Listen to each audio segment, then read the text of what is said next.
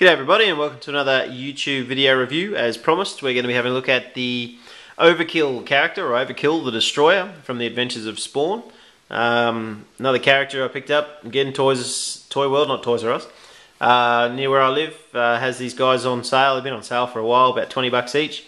And uh, thought another couple of weeks had gone by and I'd saved my penny, so it was time to add another character to the collection. So We'll have a, a look at uh, Overtkill for you, so I'll give you a bit of background on him. He's part human, part robot, and he's the world's most notorious arms dealer in the association with Mammon and the forces of darkness.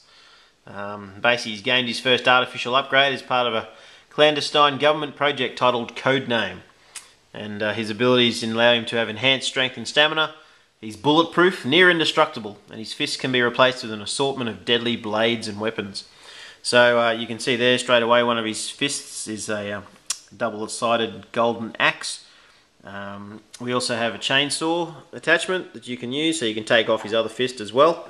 So you can see there's one of his fists, it's actually a large fist, quite a an imposing fist I suppose. And if that punched you, you'd probably hurt.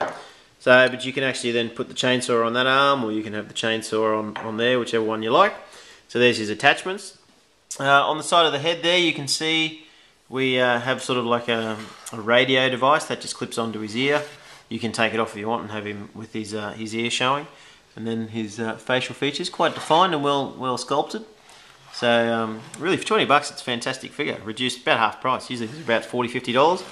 Uh, his arms and legs do uh, rotate at the uh, the shoulders and at the the hip and that's about it. Comes with the stand, has a foot peg which allows him to stand upright. I'll just spin him around there so you can see he has the, the two tubes coming out of his neck and around into the uh, sort of pockets that are on his belt. Has some, uh, some detailing on the back of his legs there. He really is quite a large figure when uh, you compare him to um, the Spawn figure.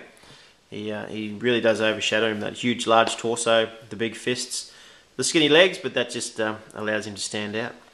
Anyway, hope you've enjoyed that review. If you're a bit of an Adventure with Spawn fan, or just a Spawn fan in general, or you just sort of look looking have those sort of imposing villainous characters on your shelf, I uh, really recommend if you're near a, a, Toys R Us, or sorry, not a Toys R Us, a Toy World, Mr. Toys Toy World here in Australia, then uh, check them out.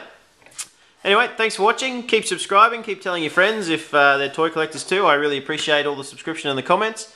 And if you hang around, or if you haven't already seen it, I'll soon be having a review up of my Luke Skywalker custom mighty mode. So hang around for that one.